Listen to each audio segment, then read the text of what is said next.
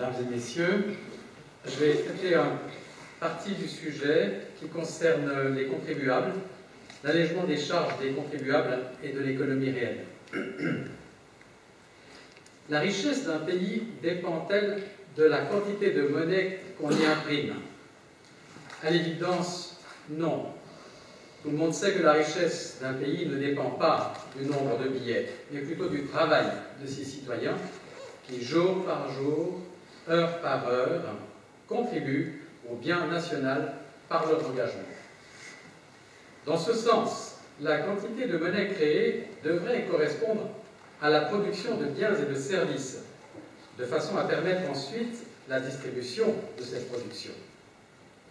Par contre, un dérèglement de la création monétaire peut affaiblir un pays, appauvrir ses citoyens, diminuer la fréquence des échanges, ralentir son activité économique ou déséquilibrer sa balance commerciale. Curieusement, alors que des milliards d'heures de travail annuelles sont produites en Suisse, il semblerait que l'argent qui permet de les rétribuer soit insuffisant. Il est indéniable que les caisses de la Confédération et des cantons sont pour ainsi dire presque toujours vides et que l'austérité s'installe partout comme un cancer avec son cortège de crispation et de malheur. C'est dû, entre autres, au fait que le système de production de monnaie scripturale est fondamentalement malade. Il souffre d'un défaut conceptuel. En effet, une fois son travail accompli, les travailleurs sont payés avec de l'argent qui est émis en contrepartie d'une dette, d'une dette sans cesse croissante et qui pèse comme une pyramide sur toute la société.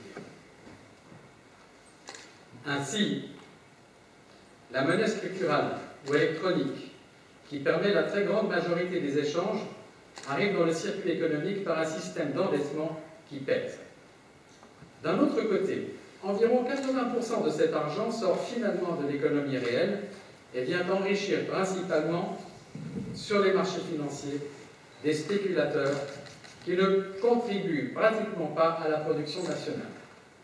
Il en résulte une spoliation des ressources financières du pays, un endettement général, public et privé. Ce sont des institutions privées, les banques commerciales, qui s'arrogent le pouvoir de création monétaire, de monnaie scripturale, au moyen du crédit bancaire. Le crédit bancaire devrait être une simple prestation, par exemple une intermédiation, et non un pouvoir sur la société. Les banques profitent de l'opacité entretenue sur la création monétaire. Grâce à ce privilège légitime, elles agissent dans l'obscurité d'un vide législatif. Ainsi, de l'aveu même du Conseil fédéral, dans une réponse du 25 avril 2012 à une interpellation parlementaire, la monnaie issue du crédit bancaire ne peut être considérée que, comme un substitut monétaire, sans cours légal.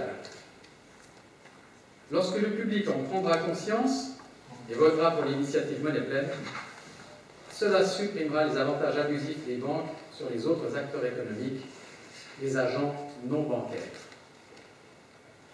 En considérant que l'impression d'un billet de 1000 francs et sa mise en circulation coûte moins d'un demi-franc, on comprend que le bénéfice de création monétaire, c'est-à-dire plus que 299 francs, revient à celui qui a le droit de le créer. En émettant la monnaie physique, pièces et billets, la Confédération fait donc un gain légitime qu'on appelle seigneuriage. La création de monnaie scripturale amènerait un bénéfice identique. Le système de crédit bancaire actuel bloque l'accès à ce gain sur la monnaie scripturale. Ceci est fortement préjudiciable au pays, car la quantité de monnaie scripturale correspond à plus de dix fois la masse de monnaie physique. La nation est donc indûment privée du seigneuriage sur la monnaie scripturale. Ce sont des milliards dont l'État ne peut pas disposer et qui incombe finalement aux contribuables. Il y a depuis trop longtemps un déni de souveraineté monétaire dans notre pays. Cette situation n'est plus admissible. Avec la monnaie pleine, du nouvel argent sera injecté sans dette dans l'économie. Il comblera les besoins de la croissance économique normale. Il en résultera enfin le seigneuriage attendu sur la monnaie scripturale au bénéfice de la société tout entière. Avec ces revenus supplémentaires, l'État pourrait baisser les impôts, rembourser la dette publique, financer partiellement des infrastructures publiques et les institutions sociales. Il pourrait alternativement mettre l'argent nouveau en circulation en versant 500 à 1000 francs par année à chaque contribuable. C'est le Parlement qui décidera comment ces nouvelles ressources seront concrètement utilisées.